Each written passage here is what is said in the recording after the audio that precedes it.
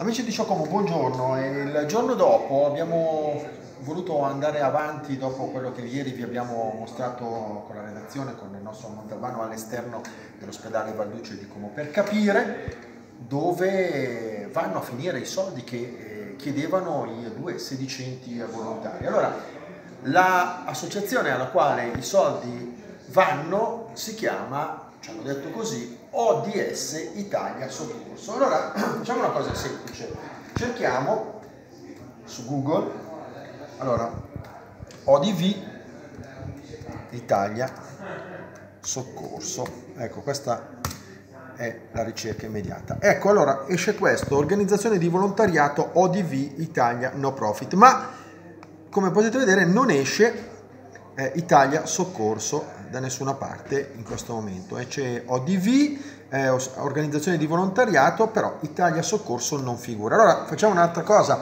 perché vogliamo essere più realisti, andiamo a vedere quali sono queste eh, organizzazioni di volontariato, appunto ODV, e questa Italia Soccorso, come potete vedere, sulla pagina di eh, Google non compare compare in alcun modo, ce ne sono tantissime altre, ma questa non compare. Allora facciamo un'altra cosa, facciamo un'altra ricerca, guardiamo su Facebook, vediamo un po', ODV Italia Soccorso, per capire se almeno online esiste questa realtà. E come potete vedere, anche qui, cari amici, non abbiamo nulla. Valtellina Soccorso, Valtellina Soccorso, ODV eh, Croce San Michele, Rescue Italia, SOS di Olgiati, ma come vedete di questa associazione che ieri era all'esterno dell'ospedale Valduce, come vedete non c'è traccia, ve l'abbiamo dimostrato proprio eh, con la ricerca online sia su Google che su Facebook, a noi non risulta.